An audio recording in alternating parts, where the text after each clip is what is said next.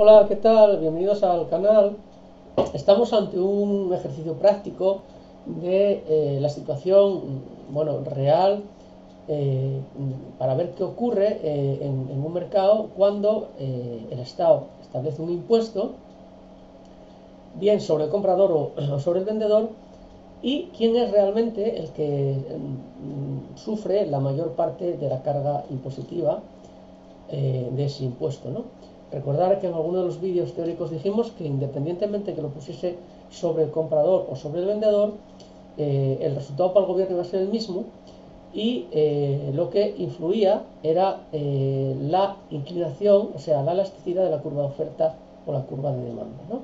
Entonces, aquí lo que vamos a saber es que lo mismo da que lo ponga en el comprador o en el vendedor para la recaudación y lo mismo da que lo ponga el comprador o en el vendedor para eh, quién soporta de verdad el, precio o, el, gravamen del impuesto. ¿no? Eso sería baladí porque lo que determina al final eh, quién recibe mayor carga impositiva es, como os digo, la elasticidad bien de la curva de oferta o de la curva de demanda. Entonces vamos a hacer eh, este ejercicio que es bastante completo, además con excedentes de consumidor y, y demás. ¿no? El mercado de chorizos a la sidra está definido por una curva de demanda y una curva de oferta la curva de demanda eh, sería esta que está aquí, que sería QD igual a 300 menos PX y la curva de oferta sería QS igual a, 2PX. Recordar que la curva de demanda, su pendiente, siempre es negativa y la curva de oferta, su pendiente, su pendiente es siempre positiva, ¿vale? Porque la relación aquí de los precios y cantidades es directa a mayor precio más quieren vender y aquí la relación precios y cantidades es inversa porque cuando hay más precio menos queremos comprar ¿no? entonces eh, el Estado pretende grabar un impuesto eh, en el mercado pero no sabe si hacerlo sobre consumidor o productor mm, porque tiene miedo que si lo hace sobre el consumidor pues eh, sufra mucho el consumidor, si lo hace el productor, sufra mucho el productor y cierra las empresas. Entonces, eh, quiere hacer un estudio, que es el que vamos a hacer nosotros ahora. ¿no? El montante eh, o monto total del impuesto es 10 euros por unidad, que podemos pensar que es pues un, kilo de chorizos a la sidra empaquetado para vender o, como queráis. ¿no? ¿Qué es mejor? Entonces, lo primero que tenemos que hacer siempre es hacer la gráfica. ¿no?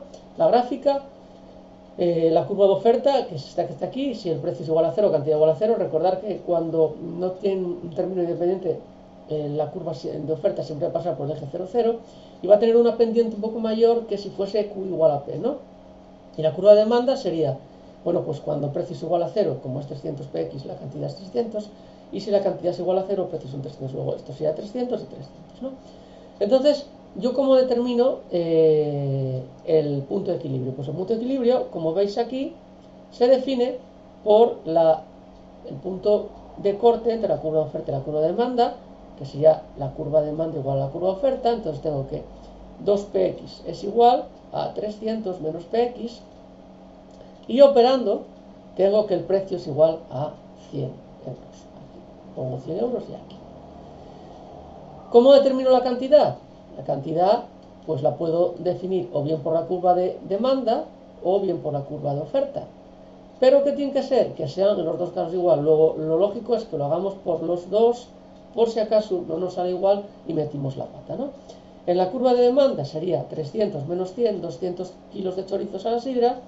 Y en la curva de oferta sería 2 por 100, serían 200 kilos de chorizos a la sidra. Luego vemos que está ok, ¿no? Como que nos decía que el ejercicio va a estar bastante completo, lo que vamos a hacer es calcular el excedente del consumidor y el excedente del productor y el excedente total. El excedente del consumidor, recordad que siempre el área que está por encima del precio de equilibrio, o el precio real de, mercado, y por debajo de la curva de demanda, porque la curva de demanda nos determina la valoración máxima que los consumidores tienen por, esta, por cada una de estas unidades eh, de mercado, ¿no? Entonces, esto nos daría un excedente del consumidor o una ganancia del consumidor. El excedente productor, pues sería de la misma manera la zona que está por debajo del precio y por encima de la curva de oferta, que recordar que la curva de oferta de una empresa es eh, la curva de coste marginal a partir del mínimo de los costes variables medios. Entonces sería este triángulo verde. Entonces, calculando el excedente del consumidor, sería un triángulo que sería 300, vamos a hacer un poco más arriba para que se vea bien, 300 menos 100, que sería esta altura, por la base que son 200, partido de 2 me sale 20.000, el del consumidor sería 100, que sería esta base está tirado, y 200, que sería la altura, que sería partido de 2, 10.000. Luego, el excedente total sería la suma, lo vamos a calcular de dos formas. Por un lado, la suma de 20.000 más 10.000, que son 30.000, y también como la suma, eh, vamos a ponerlo en, azul, de este área, de este triángulo que aparece aquí en el círculo, este círculo. Y sería 300, que sería esta base, por 200, partido de 2, como veis aquí, son 30.000, luego esto está ok, ¿vale? Y ahora llegamos a la segunda parte. Nos dice que el Estado se plantea imponer o grabar un impuesto de 10 euros por unidad por kilo de chorizo a la sidra, eh, bien a los oferentes o a los demandantes. Entonces, ¿yo qué me planteo? En los oferentes, el dinero que reciben va a ser igual a eh, el que paguen eh, los demandantes menos los 10 euros que quita el gobierno. O sea, si yo digo que el precio de la demanda menos el precio de la oferta es igual a 10, es lo que nos dice el gobierno, ¿no? ¿Qué ocurre? Que si digo que el precio de la oferta es igual al precio de la demanda más 10, esto sería pasar esto para aquí y esto para aquí, eh, menos 10, perdón, menos 10, me quedaría reflejado el precio de la oferta. ¿Qué pasa con el precio de la demanda? Bueno, pues el precio de la demanda sería lo mismo, ¿no? Sería que el consumidor por cada plato de chorizo que tiene que pagar, tiene que sacar del bolso también otros 10 euros para pagar el gobierno. Entonces, lo mismo, el precio de la demanda menos el precio de la oferta es igual a 10 euros. ¿Esto qué nos quiere decir? Que lo mismo da que grabemos al consumidor o que grabemos al productor, la situación para el gobierno va a ser la misma. Igual, ¿no?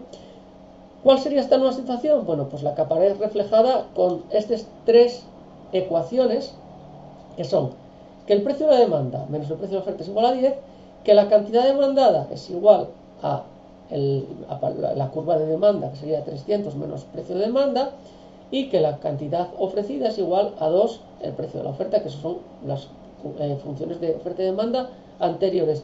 ¿Qué ocurre? Que tenemos una, dos y tres ecuaciones, una, dos, tres, cuatro eh, mm, variables, eh, variables o incógnitas, ¿no? Pero tenemos que darnos cuenta que la cantidad de oferta y la cantidad de demanda va a ser la misma, luego yo aquí pongo igual a Q. Entonces me quedaría en precio de la demanda menos precio de la oferta es igual a 10, cantidad, que es esta que aparece aquí, luego hablamos sobre ello, es igual a 300 menos el precio de la demanda y que la cantidad de la oferta, que es igual, es igual a dos veces el precio de la oferta.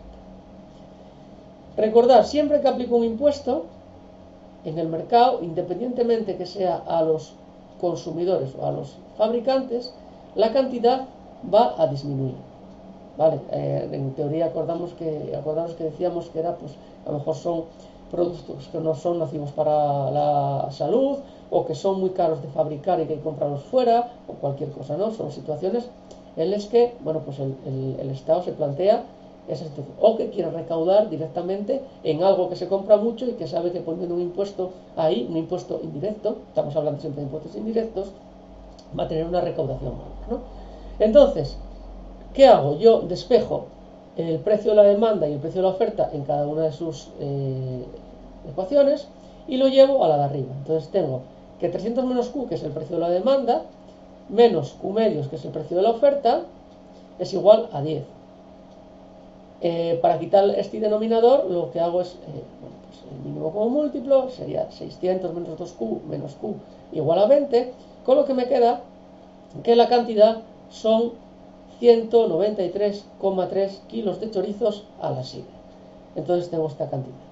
¿Qué es lo siguiente que tengo que hacer? Pues determinar claramente el valor de los precios de la oferta y de la demanda. Entonces yo tengo que el precio y la demanda es igual a 300 menos la cantidad, como veis aquí, luego me sale 106,7 y que el precio de la oferta, como veis aquí, es 193,3 partido de 2. Entonces, lo siguiente que voy a hacer antes de comprobar si está bien es subirlo y ponerlo en la gráfica. ¿no? Y ahora compruebo, podríamos haber comprobado primero. Yo sé que el precio de la demanda menos el precio de oferta tiene que ser igual a 10, que es lo que recauda el Estado por cada kilo.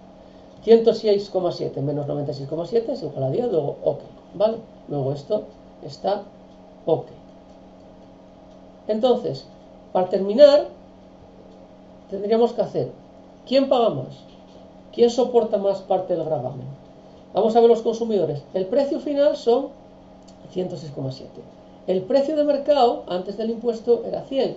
Luego tienen un incremento, van a pagar de más 6,7 euros. ¿Qué pasaba en este caso? Bueno, pues el precio de equilibrio era en 100 y ahora van a recibir los oferentes 96,7, luego van a tener una pérdida de 3,3. Como 6,7 es mayor que 3,3, quienes más van a sufrir el gravamen van a ser los consumidores. Y esto vamos a dejado así, suena un poquitín raro y tal, pero vamos a hacerlo con los excedentes de consumidor, la situación anterior y la final. ¿no? excedente de consumidor, recordar que es siempre el área que está por encima, que sería esta área en rojo que está aquí, vamos a rayar otra vez, y es un triángulo que está formado por 300 menos 106,7 que sería la altura, por la base que son 193,3 partido de 2 que salen 18.682,4.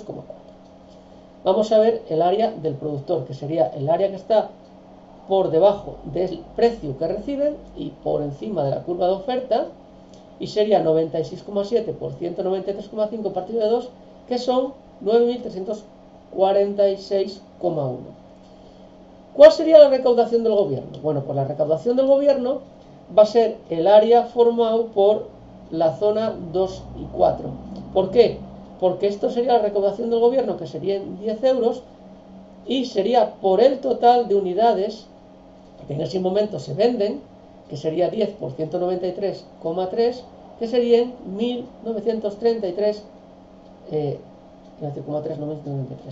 Vamos a ir hacia atrás, esto que está aquí en gris, vamos a dejarlo para luego, y vamos a ver ahora la comparación de la situación anterior y la situación posterior. O la situación anterior es cuando estábamos en equilibrio de mercado eh, y la situación posterior es cuando el gobierno impone un gravamen de 10 unidades, de 10 euros, perdón, por kilo de chorizo a la sola. ¿Cuál era la situación inicial? En 20.000, que era el excedente, vamos para que lo veáis bien, 20.000 era el excedente del consumidor inicial, aquí lo tenéis, 10.000 el excedente del consumidor final y el excedente total del productor, perdón, y 30.000 eh, que sería la suma del excedente total, que sería excedente consumidor más excedente producto. Entonces vamos aquí, ya lo tenéis.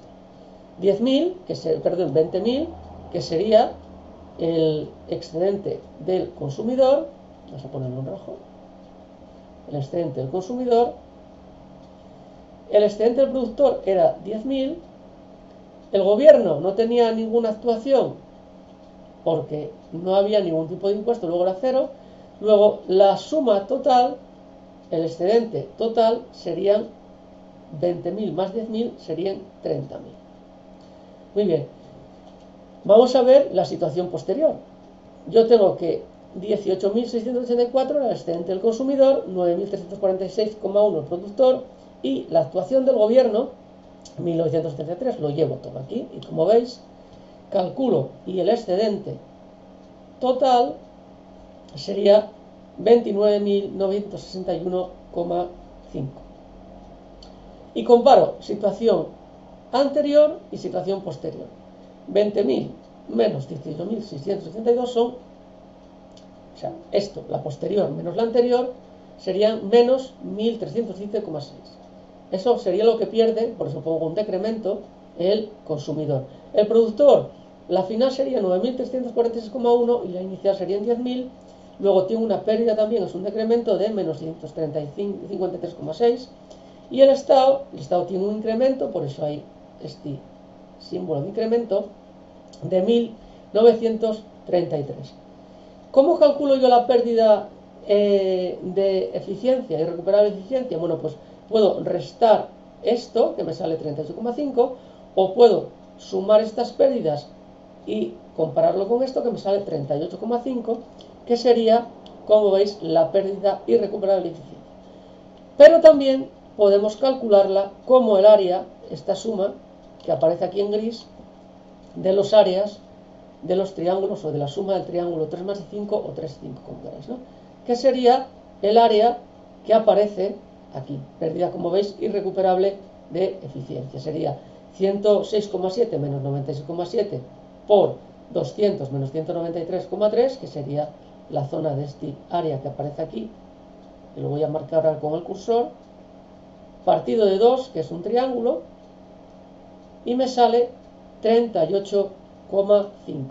Y así queda verificado el que cuando eh, un gobierno impone una tasa o pone un gravamen o aplica un impuesto indirecto en un mercado, siempre va a haber una pérdida irrecuperable de eficiencia y siempre van a perder tanto el comprador como el vendedor. Quien más va a perder se dependerá de la elasticidad de la curva de oferta o de la curva de demanda. Espero que os haya resultado interesante el vídeo. Esto básicamente lo que demostraba era eh, lo que yo os decía en alguno de los vídeos de teoría, que no para la recaudación del gobierno no importaba dónde se aplicase el impuesto y que sobre quién recaía es sobre eh, el grado de elasticidad de curva oferta demanda. Eh, os pondré debajo del cuerpo de este vídeo los de teoría donde se explica quién recibe mayor parte de la tasa impositiva en función de las elasticidades de curva oferta. Gracias por vuestra presencia en el canal, espero que os haya resultado interesante. Eh, como siempre podéis compartirlo, podéis hacer con él lo que queráis. Muchas gracias y hasta el siguiente vídeo. Hasta luego.